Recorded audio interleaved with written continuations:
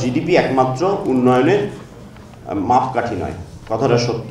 কিন্তু শুধুমাত্র ওটা দিয়েও যদি চিন্তা করি দু এবং পরবর্তীতে দু হাজার একচল্লিশ সাল that is beyond SDG timeline কারণ এসডিজি দু হাজার তিরিশে অর্জিত হলেও বাংলাদেশ উচ্চ আয়ের রাষ্ট্রে পৌঁছবে না। কিন্তু দু হাজার একচল্লিশ সাল নাগাদ একচল্লিশ সাল নাগাদ যে উচ্চ আয়ের রাষ্ট্রের কথা বলা হয়েছে সেটা অর্জন করতে গেলে আজকে থেকে বাংলাদেশকে প্রতি বছর শতকরা এগারো ভাগ জিডিপি অর্জন করতে হবে।